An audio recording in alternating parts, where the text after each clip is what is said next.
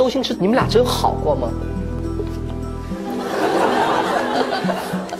老司机的时候我们拍戏的时候是一对好的那个对手，动过心没有？才华的人都比较怪癖，对对对对对就不太好相处。不好相处哈，把那个剧情，紫霞仙子和那个至尊宝啊，至尊宝，把两个人物关系抛开之外的，你看到他，你觉得他是个很好接触的人吗？跟你在一起的时候，有的时候，因为每一个人也有有某一些时候是某一些的状态的。那比如说，你跟他聊天，或是跟他搭得上，你你就要那个时候他的状态 OK 才行。然后每一个人有不同的不一样的不一样的状态。是的，《画西游》是你人生最满意的一部作品吗？到目前为止不算不算，不算。现在还没有出现最满意的作品吗？当然呢，哪个？哪？如果出现了，我就应该退休了吧。你就想拍一个最满意的作品以后再退休了？每一次每拍一个戏，都是我觉得最完美的东西。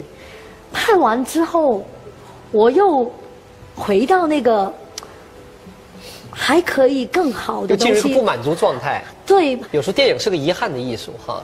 对，所以就永远一直在追求。和周星驰怎么认识的？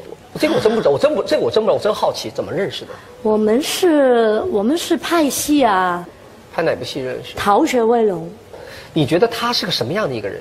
那个时候我是一个学生，嗯，我还在香港的演艺学院里面读书。对，他是一个很聪明的演员。那段时候，是因为因为我是看那个漫画长大的，对，你你有没有？我知道你喜欢看漫画，很喜欢看漫画，动画片，我这样长大的，所以我其实我看到呃他的戏是朝那个方向去的，有漫画的特点，有有有对对对，有有，嗯，是的，对我那个时候是一个小朋友来说，像梦工厂，像梦工厂，对，对。在造梦的一个过程。我目前为止没跟周星驰见过面，只跟他看过他的作品，嗯，但是也算是道听途说，都说他是个非常有才华的一个人，他是有才华，是吧？有才华的一个人，嗯但个性比较古怪，你觉得呢？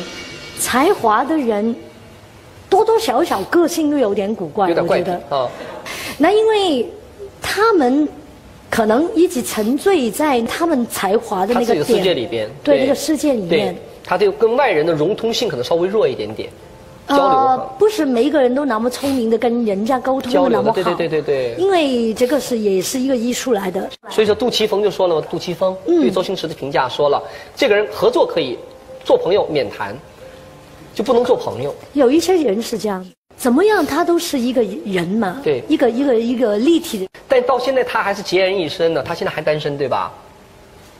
周周星驰没结婚吧？呀，对吧？没结婚不一定是单身，他头发白了，他心目当中最完美的一个女，是不是你？我我不觉得会是我啊。他头发白了是因为他可能不是不想再去染头发吧？是吧麻烦吧？你结婚的时候，他发祝福来没有？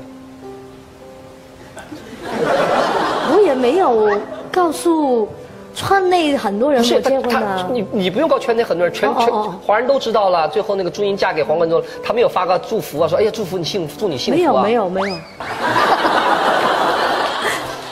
但你知道吗？嗯每个男导演啊，任何一个电影导演，他都有自己的 muse，就灵感女神。哦有有有，你是他的灵感女神，你是周星驰的，这个你要一定要接受的。我们看这么半天，就他在给你拍戏的时候，周星驰是发光的，你也是发光的。他这个下边的作品也可以拍作品，但他的灵感女神没那葛优就是冯小刚的灵感男神啊。可以啊、可以这么说呀，因为他的戏路是在那个路上嘛。有一些人合作是有光的，对对这个光那个穿可以越画越大的，当你每次出现在活动或者采访的时候，当人家当大家不断的提到周先生的名字的时候，你内心有没有抗拒？就比如说，为什么总是要问我关于他的事？，对为什么？把我的朱茵的生活老跟那他联系在一起呢？会不会有那种反感或者实话实说？